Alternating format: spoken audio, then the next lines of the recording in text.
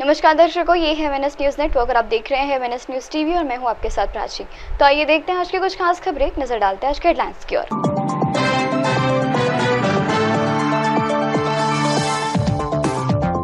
तड़ीपार कालू धराया गया। सेंधमार अपराधी हुए गिरफ़्तार। कुख्यात वाहन चोर गिरफ़्तार। आइए देखते हैं खबरें विस्तार से। तड़ीपार कालू धराया गया। नागपुर में कलमना के तड़ीपार अपराधी शुभम उर्फ़ कालू गौरव को परिसर में पकड़ाया गया है।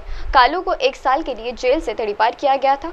क्राइम ब्रांच के यूनिट पाँच को बावन सितंबर को कालू शारदा चौक के पास दिखाई दिया। पुलिस टीम ने पूछने के बाद उसे धर दबोचा। आइए बढ़ते अगली खबर की ओर।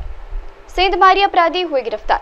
नागपुर में हुड़केश्वर पुलिस सेंधमार में लिप्त अपराधियों को गिरफ़्तार किया है, जिसमें आरोपी साहिल लतीक पठान आशीर्वाद नगर का रहने वाला है और साथ ही नरसाला मार्ग, निवासी गोपाल देशमुख परिवार सहित चार के घर जलाखेड़ गए थे। उनके घर से गहने तथा नकदी रुपए चुरा लिए गए। पुलिस को साहिल पठान के चोरी में लिप्त होने का पता चला। हिरासत में लेकर पूछताछ करने पर साहिल ने देशमुख सहित चार स्थलों के घर में चोरी की थी। आइए बढ़ते अगली खबर की ओर।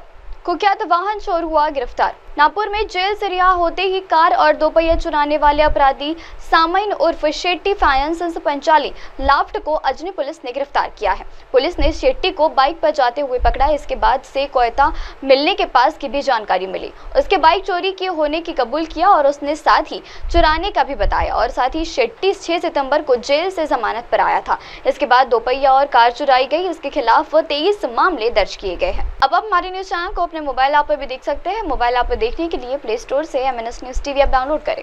इंस्टा हाई ट्विटर को और फेसबुक जैसे कई सोशल मीडिया प्लेटफॉर्म पर हमारा चैनल उपलब्ध है। आप इस यूट्यूब पर भी देख सकते हैं, आप इस यूट्यूब लाइव भी देख सकते हैं। अब वक्त चाहे दर्शक ब्रेक का। ब्रेक लौटने के बाद देखिएगा देश और दुनिया की तमाम बड़ी खबरें। बने रही है न्यूज़ टीवी पर। नमस्कार।